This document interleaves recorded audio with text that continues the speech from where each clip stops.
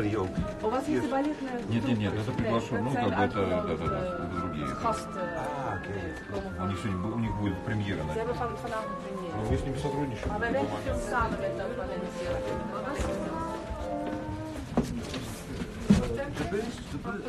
Maar ja, de ijs is een boot die naar boven komt, dat is een beetje inspiratie. Dat zou ik niet voor die komen. hè?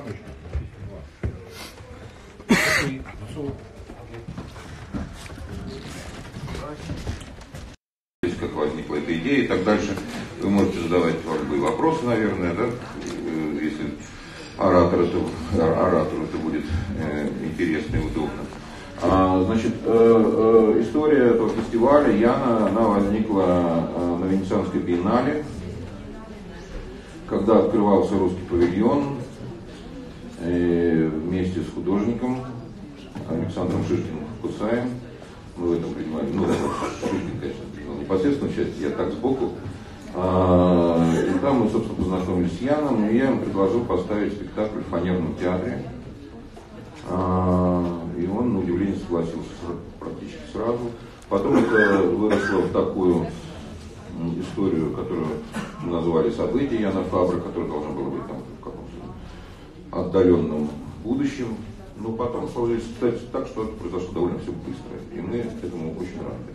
Поэтому сегодня мы открываем повторюсь, фестиваль Фабра. Яна Фабра. Здесь будет э, представлено три спектакля.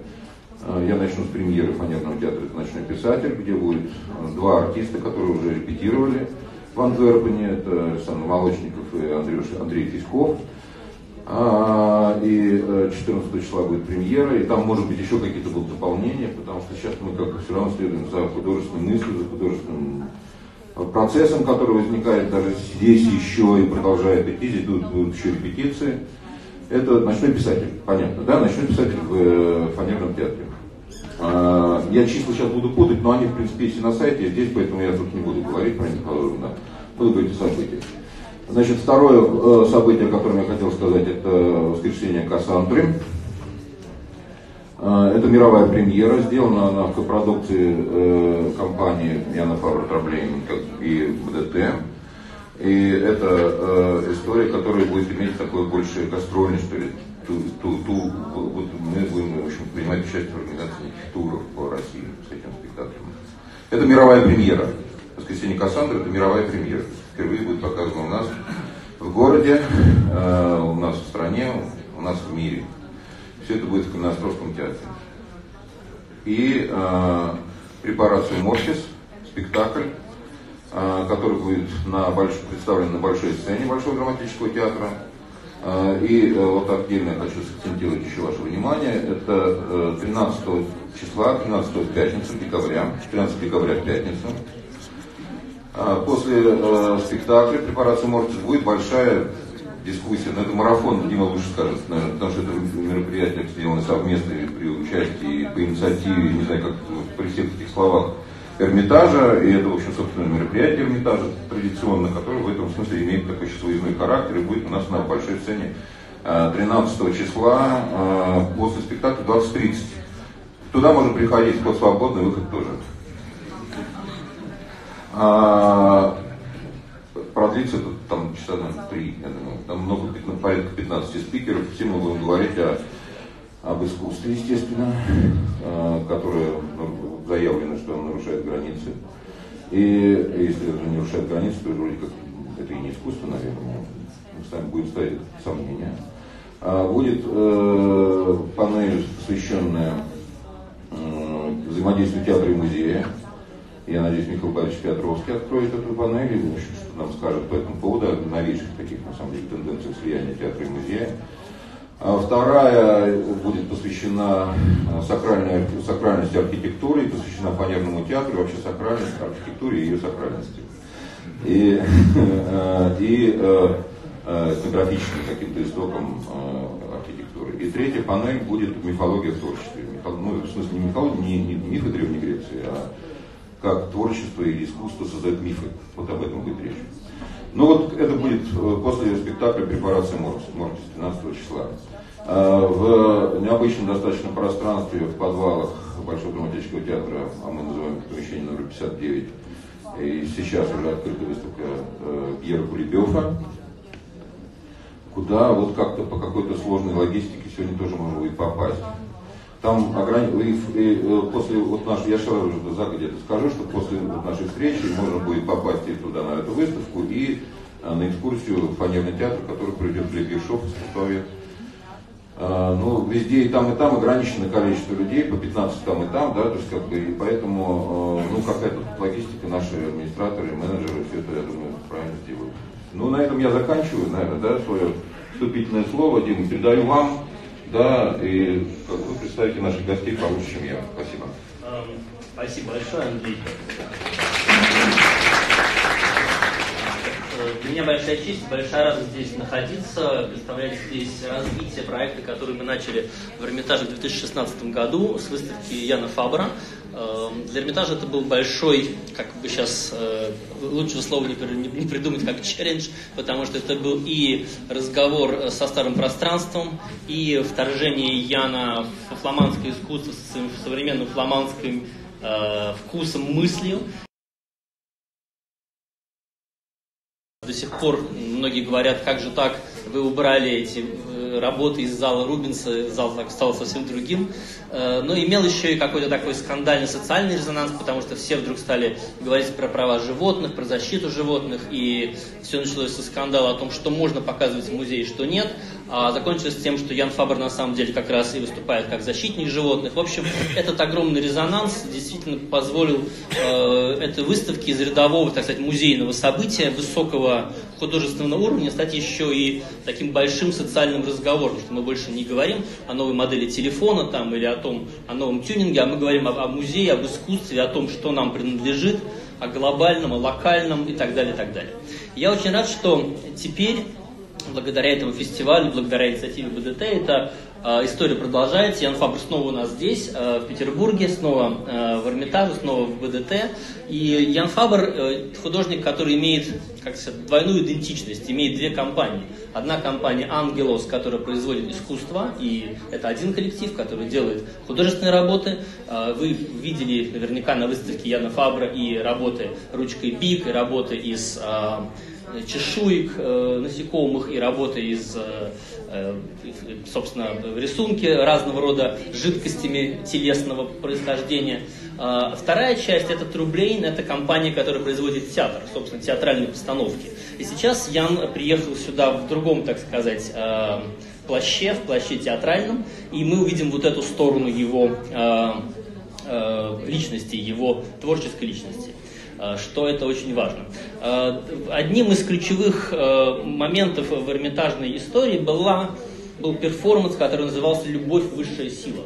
Перформанс представлял собой актера, это был сам Ян, он был одет в доспехи, и как рыцарь современного искусства. Он двигался по залам Эрмитажа, вначале по двору, потом по Зимнему дворцу и э, преклонял колени перед произведением великого искусства прошлого, перед колоннами, перед э, Рубинсом, перед э, великими портретами царей. И получается, что рыцарь современного искусства охраняет вот эти старые истории. То есть современное искусство не разрушает основы, как многие считают, оно не портит, не поганит, не издевается над старым, оно наоборот поклоняется ему по-своему, своим умением, своим скромным способом. Этот перформанс превратился в видео, он был заснят на видео. Это видео э, будет э, показано 7 декабря на Дворцовой площади на большом экране. Завтра оно будет показано в Эрмитажном театре, и оно переходит э, в коллекцию Эрмитажа. Собственно говоря, мы это будем отдельно тоже отмечать. Закрывая вот эту главу э, художественно э, станкового искусства Яна Фабра, мы переходим к театральному искусству. И, собственно говоря, вот тема «Любовь – высшая сила» является и темой, на которую сделал свой проект Пьер Кулебев, художник, с которым Ян давно работает. Э, Ян фламандец, Пьер француз. Они давно сотрудничают. Пьер э, художник, который работает на грани видео и чего-то еще, каких-то других дисциплин всегда захватывая разного рода метафорику европейскую, европейские э, травматические ходы, метафорические ходы, используя разные вот эти вот языки Э, которые после, понятно, после э, Второй мировой войны совершенно по-иному осмысляются в европейском искусстве. И вот работа, которая представлена здесь, она имеет непосредственную связь темой любви, которая является высшая сила, которая озарен тот рыцарь, который ходит э, по Зимнему дворцу, и тот современный художник, который общается со старыми э, мастерами. И, собственно говоря, вот эта тема старого и нового, современного и э, классического, театра и музея, эта тема вот и является, наверное, центральной темой того, что мы здесь говорим в эти дни. Художник и театрал. Где кончается художник визуальный, начинается театральный режиссер. Где э, заканчивается музей, начинается театр. Театр это тоже такой как бы музей. Мы сейчас видим прекрасный проект фонарного театра, собственно, музейный проект, проект музейного дизайна, музейной декорации, осмысляющий пространство по музейному. А музей тоже является таким театром, у которого есть кулисы, за кулисы, там реставратор что-то э, реставрирует, э, осветители там ремонтируют. есть вот, собственно, э, музей, который открыт в часы работы, как такой вот театр искусства. То есть здесь границы очень близки. И надо сказать, что в современном искусстве это тоже очень э, важная история. Вы знаете наверняка, что последние важные проекты победители многих конкурсов, фестивалей, Венецианского биеннале и так далее, это именно проекты на стыке театра и э, станкового искусства, изобразительного искусства, перформанса. Вот где здесь границы не очень понятны, когда вдруг скульптура начинает оживать, ну и так далее, так далее. Я не буду больше занимать э, эфир, я думаю, что мы хотим все услышать наших замечательных гостей, которые специально приехали сюда в этот зимний день. И я, Андрей, возвращаю вам, наверное, слово, вы дальше. Да-да, ну на самом деле просто я, наверное, все хотят услышать вас в первую очередь. Слово Яну Фавру.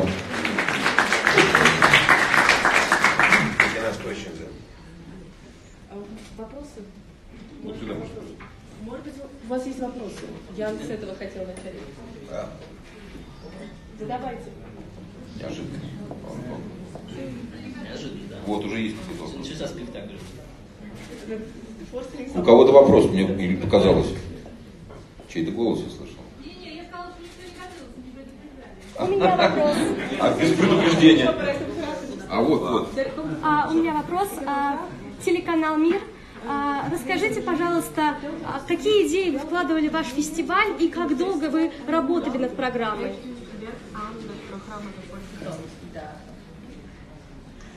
Oh, all my life. Всю жизнь работал. No, maybe to say something about. Um, no, because I think a lot, uh, a lot of young people speak English also. No, uh, it's good that I speak English. Um, so essentially, um,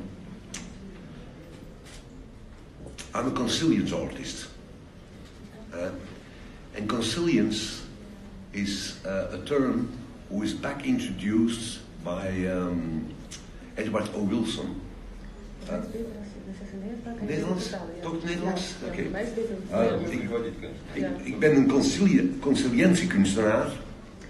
Uh, en conciliëntie, uh, die term is opnieuw geïntroduceerd geweest uh, door Edward O. Wilson. Эдвард О. Уилсон представил такой термин, как э, э, консилианское искусство. И сейчас Ян будет объяснять, что это такое.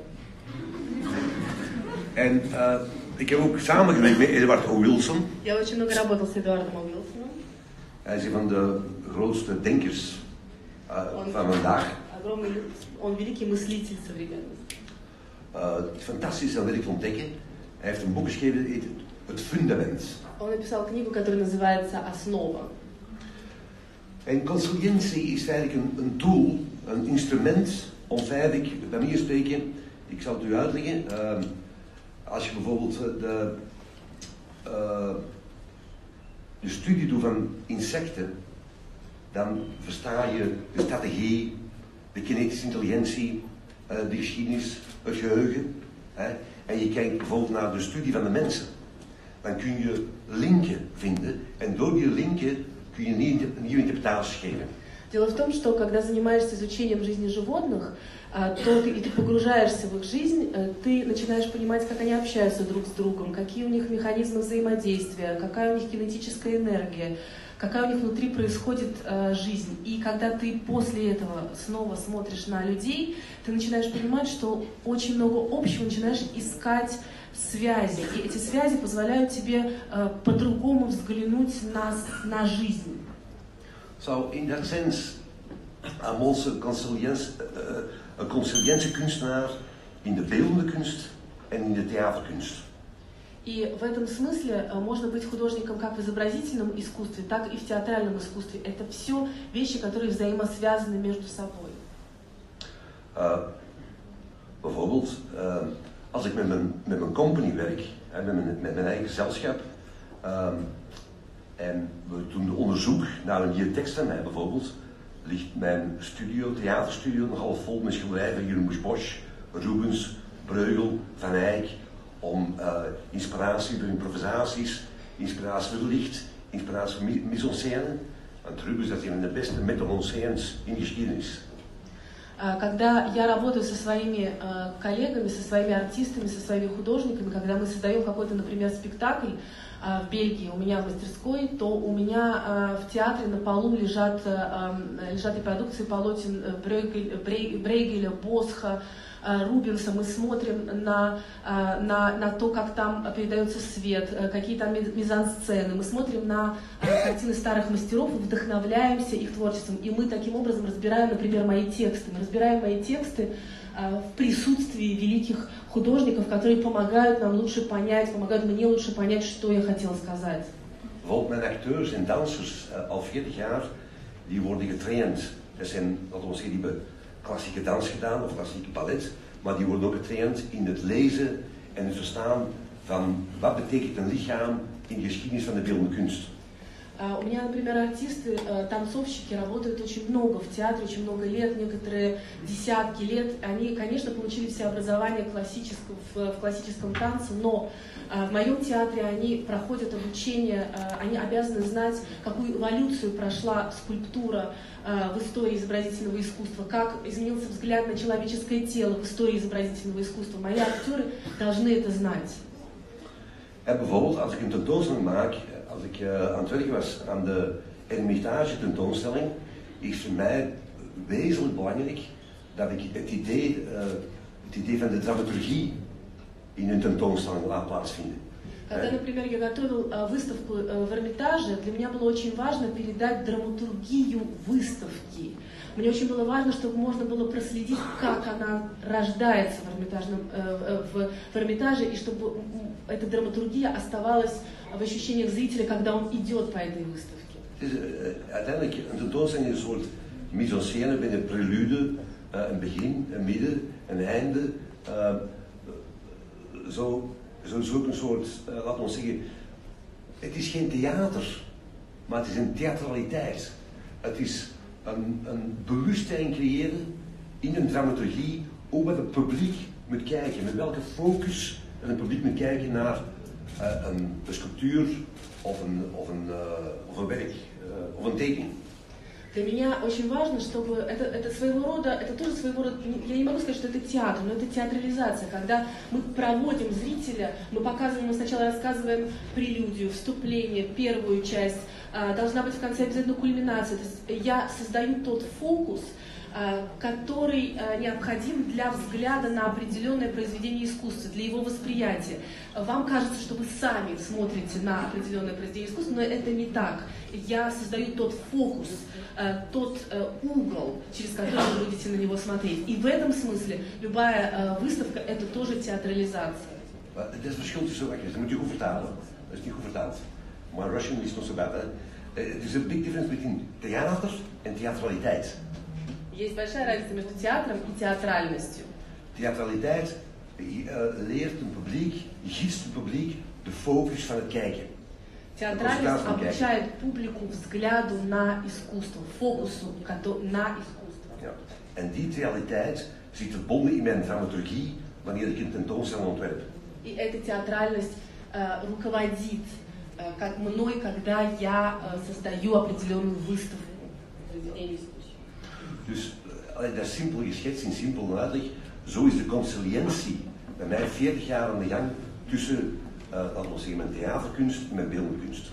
И, та- и таким образом вот это и есть та связь, которая а, руководит мной. А, я уже 40 лет таким образом существую где-то между а, театром, а, искусством театра и изобразительным искусством. Ook in mijn teksten, mijn teksten, mijn theaterteksten zijn geen gewoon psychologische drama's of zij zijn niet zo diep verbonden aan, laten we zeggen, aan de traditie van het theaterschrijven, maar zijn feitelijk een reflectie. Mijn theater is een soort reflectie van manifesten, van het denken ehm, over kunst, over schoonheid, denken over de performer, wat betekent de performer, de acteur op een scène. Э, И э, мои тексты, театральные тексты, это не классические тексты в том э, понимании, каком мы привыкли их видеть. Это скорее мой взгляд, моя рефлексия на актера, на, э, на э, перформера, на то, что должно происходить на сцене. Это мое восприятие ситуации. Вот как-то так. Maar... Ruzie is niet slecht, hè? Да, давайте да, да, да, да, вопрос. Вопрос по началу. Можно, конечно. Знаменитого советского писателя, поэта Чуковского была страшная koning slaap. Он мог Probeerde met slaap. Hij один час sliep één uur per dag, twee uur. лет En читала ему перед сном. een kleine dochter las hem voor Для него это было мучение. om hem in slaap te laten vallen. Voor hem was het een На marteling. дневниках, которые вы начали Een писать, van uw uh, spektakels is в uh, связи с тем, dat что je вы een dagboek die не могли спать. heeft geschreven s'nachts en dat niet kon slapen. Samen, bent u dankbaar aan de slapeloosheid? Bent u dankbaar aan het feit dat die slapeloosheid is geweest in uw leven? Of uh, bent u bereid om te zeggen van nee, nooit, liever niet? Of was het een, hoe kijkt u daar tegen? Nee, in mijn jeugd, in mijn jeugd was ik regelmatig in paniek. Конечно, по молодости я регулярно просто был в состоянии паники из-за этого. Eh, ik heb uh, slaapmiddelen gepakt voor, voor jaren een stuk, tranquilizers, eh, Я allerlei принимал, soorten drugs om maar te kunnen slapen. Я принимал всякого рода э, снотворные, транквилизаторы, разного рода наркотики, только чтобы можно было уснуть. Maar de slapeloosheid is over, de, althans in mijn leven, een vriend geworden. Но со временем, э, с течением времени, бессонница стала моим другом. Что поделать? Ik heb de schoonheid van de obscure en obscene nacht omarmd. Я, можно сказать, э, объял, обнял красоту темной ночи. En ik heb het nu geluk eh, dat er nu Netflix bestaat, ook. И слава богу, сейчас есть компания Netflix, чтобы можно не читать, если не хочется. Dus gewoon is mijn nacht verdeeld tussen te schrijven en tekenen en Netflix. То я часть ночи я работаю, рисую, а часть ночи все-таки смотрю всякие сериальчики.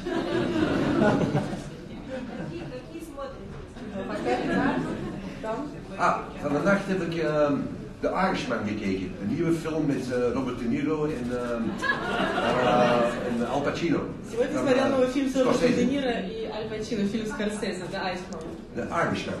The Irish- The Irishman. The Irishman. Het is eh, drie uur en een half. Три с половиной часа где-то. Goed acteurs. Хороший очень актер, мне понравился. Хороший. Bijzonder om uh, zoveel prachtige acteurs als eh, Robert De Niro en eh, Al Pacino. ehm, en eh, die mannen ook verschillende ontmoet en ook bezig zien live in theaters. Ehm, eh, bijzonder fantastische kwaliteit van, van textueel, zinnen, zinnen script fantastisch. Natuurlijk, dat zo. Dat is iemand voor mij ontspanning en, en ik schrijf er ook over.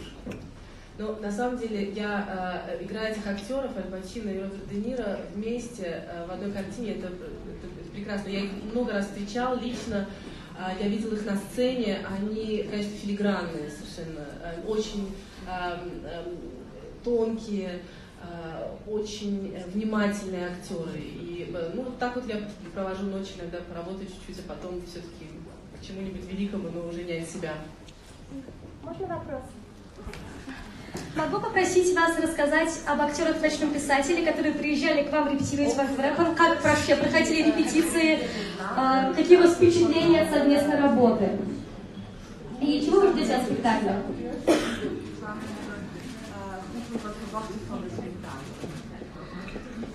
Uh, de twee acteurs, uh, de twee uh, acteurs hebben bij ons in Antwerpen in het laboratorium, het Laboratorium, vijf dagen samengewerkt. en dat is heel goed verlopen. En dat is... sorry, Русские ребята пять дней э, работали у нас в Антверпене в лаборатории Трублен, в моей лаборатории, и я могу сказать, что э, мы с ними сработались. En dat is. Um, de eerste dag is dat echt woordje per woordje, zin per zin vastpakken, proeven, omdraaien. En dan zit dat door een Russische taal, uh, intonatie geven, uh, vergelijkingen in, in, vertalingen. Dus echt, in het begin is dat echt uh, de taal proeven, de taal horen, luisteren, de taal zien als een object, als een sculptuur en ermee werken. Dat was de eerste dag. Там, ну, мы на самом деле всегда, мы так работали, в первый день нам пришлось работать с текстом, мы его, нам нужно было его ощутить и почувствовать. Мы сначала поняли, что текст как-то вот он не ложится, и мы слово за словом переворачивали, выверяли, вычитывали, проверяли все интонационные нюансы. И вот целый день мы сидели, работали с текстом, потому что другой язык это всегда, это почувствовать, это это, это, это, это, это подержать во рту, это, это обсмаковать, и вот, вот, вот это мы делали в первый день, прям целиком и полностью. De second day was uh, more, uh, sorry, de tweede dag was meer echt pure tekstanalyse en inhoud. Во второй день мы текст анализировали и смотрели на содержание. Omdat er daar veel begrippen die de twee jonge Russische acteurs niet kenden. Dus hij moest heel veel uitleg geven en background geven. Там было много понятий, терминов, которые э, русские ребята, ну, они не очень хорошо разбирались, у них не очень хорошо их чувствовали и понимали, и я очень много разъяснял, э, что означают определенные понятия. En ik denk dat we een derde dag op scène zijn gegaan. En dan hebben we een ruffe, uh, zo'n kleine catastrofes gedaan, schone catastrofes en doorlopen. А в, третий день, а в третий день мы поднялись на сцену наконец, и мы так вот очень быстро одним махом пробежали по всем мизансценам, по всему спектаклю.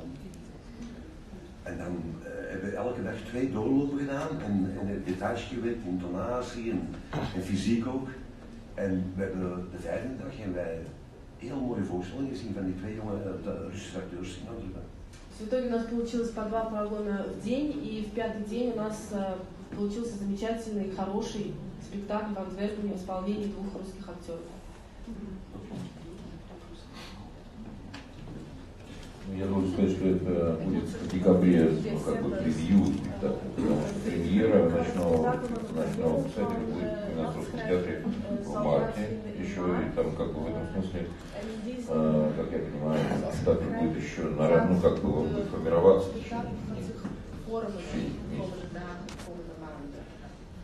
Ja, nee, omdat we uh, nu wordt het een heel klein, intiem, uh, laten we zeggen, voorstelling hè, in, in, in, deze punt, in dat ideaaltje. En dan in maart dan gaan we, daar wordt met film, met, daar komt er veel meer bij, uh, bonsenering, beeld. Maar hier gaat het veel meer over de tekstkwaliteit, de juiste intonatie, inhoud. Сейчас, да, сейчас в декабре это такой будет спектакль для гурманов. Во-первых, он будет в, этом, в таком очень ограниченном пространстве.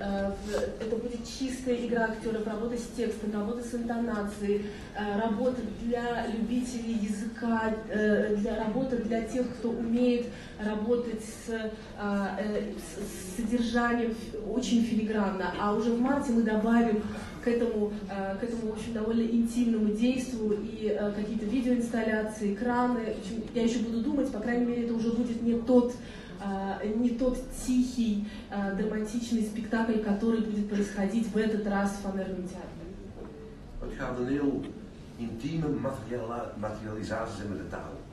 Это, речь идет об очень такой интимной материализации языка.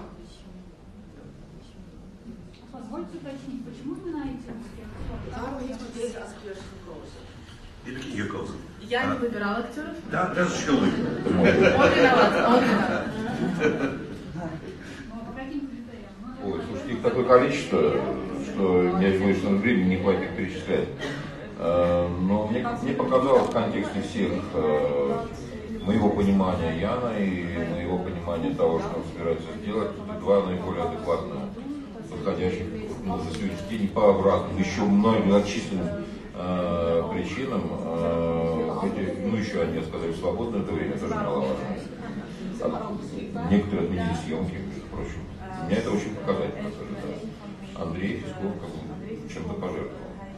Я вам скажу, что э, Андрей позвонил мне сразу из аэропорта и написал, неважно, да, чтобы он был на самом деле очень это серьезно. Ну, я не могу за него, конечно, говорить, лучше бы этого сказал сам, но тем не менее могу удержаться, потому что это как раз была очень важная, видимо, точка в его еще и творческой карьере, э, когда э, вот эта встреча с Яном, работа в этом спектакле, в общем, довольно серьезно перевернула, э, перевернула его ощущение театра и вернула отчасти то, зачем он вообще этим занимается.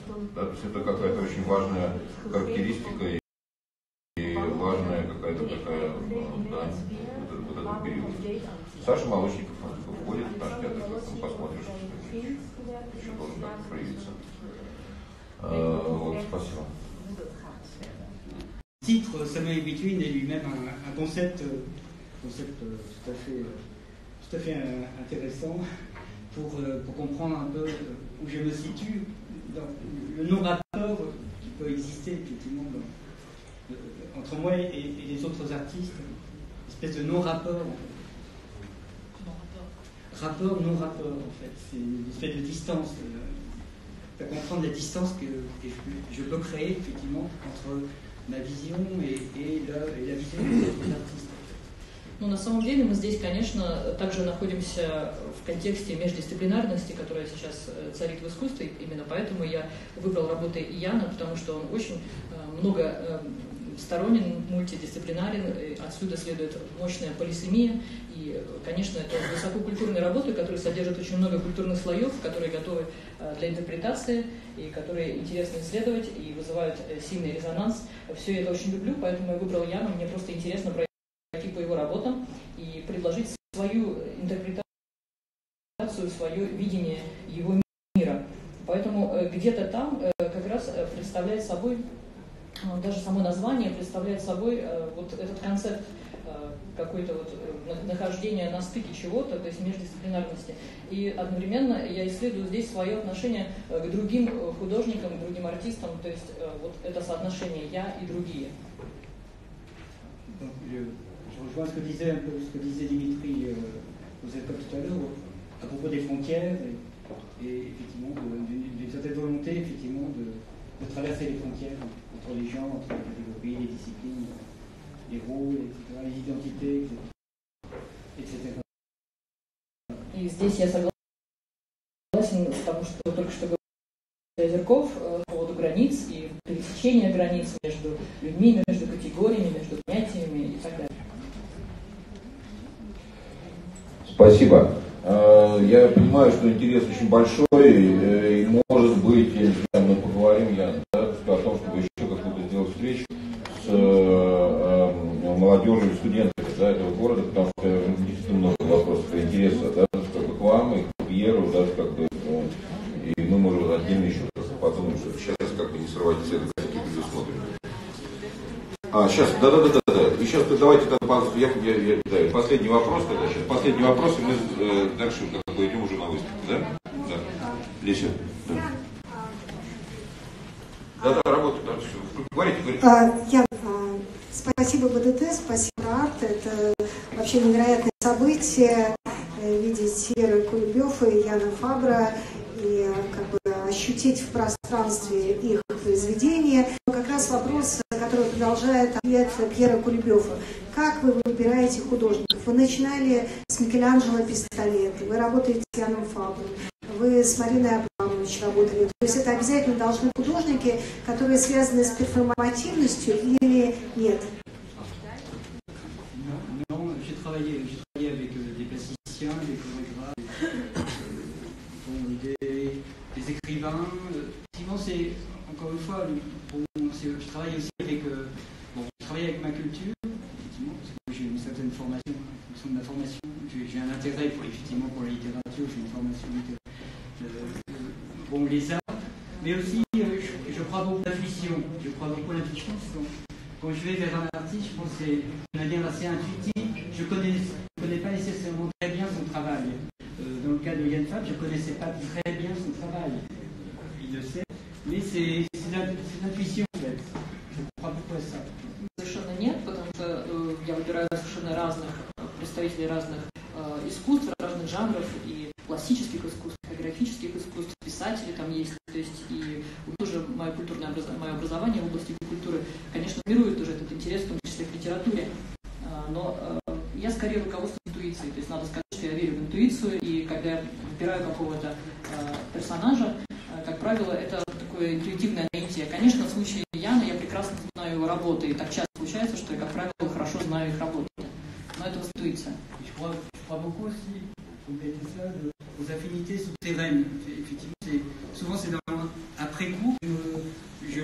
conscience des affinités que j'avais en fait, des affinités de fond que je pouvais avoir avec certains artistes.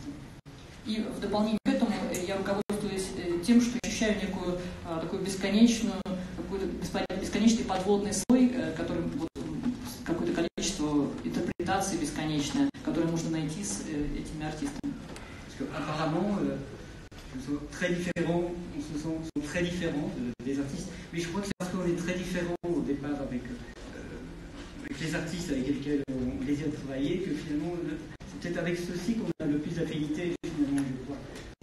Il pas aller vers, vers, les gens qui vous ressemblent, qui d'emblée vous ressemblent. Je crois qu'il faut aller vers les gens qui effectivement sont très différents de vous. И потом очевидно, что я, конечно, очень сильно отличаюсь от тех, кого я выбираю, и это дает, конечно, дополнительное измерение вот этой бесконечности, этот дополнительный потенциал вот этой глубины, которой бы не было, если бы я выбирал тех, на кого я похож и с кем у меня есть сходство, родство. Поэтому я также очень сильно верю в понятие э, разницы, отличия. Merci. Спасибо. Спасибо большое. Давайте поблагодарим наших гостей еще раз за то, что приехали, что фестиваль открыт. Слово Саше. Саша, скажите, что дальше в программе и как это все будет организовано происходить? Уважаемые гости, просьба оставаться на местах и сейчас прослушать маршруты, по которым вы сейчас будете двигаться, которые мы вам предлагаем. Люди с номерами, гости наши с номерами единицы, э, собираются, пожалуйста, у парадной лестницы, идут первые на выставку «Войны красоты». Гости с номером 2 собираются в греческом зале позади вас, около стойки, где будет, будет раздаваться э, аудиоаппаратура для экскурсии по центрам. Три и четыре номера остаются в зале. Предлагается вам оставаться в зале, чтобы посмотреть фильм Яна Фабра «Любовь высшая сила». А потом, может быть, наверное, все-таки да? Да, дальше мы возвращаемся опять сюда. Да. Э, оперативное решение в связи с большим количеством людей. А пока посмотрите кино, а потом посмотрим, пойти погулять. Спасибо большое. Спасибо.